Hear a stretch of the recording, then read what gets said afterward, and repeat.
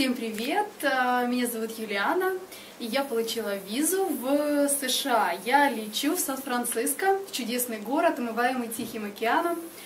А, Получила я визу достаточно легко, потому что не переживала, не сочиняла никаких легенд, а сказала все как было. Еду учить английский на три месяца, а, подтянуть достаточно свой, в принципе, язык.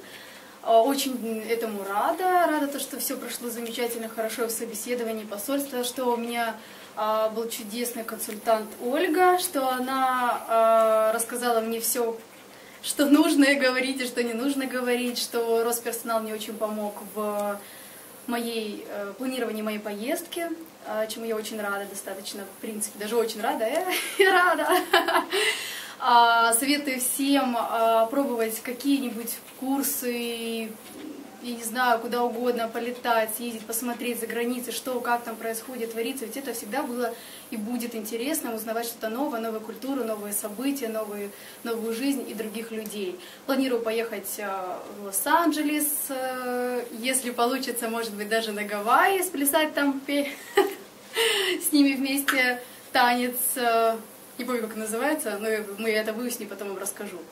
Вот, в общем, обращайтесь в Росперсонал, здесь очень квалифицированные специалисты, которые вам всегда все помогут сделать, организовать, и э, ваша поездка будет всегда супер-супер-пупер.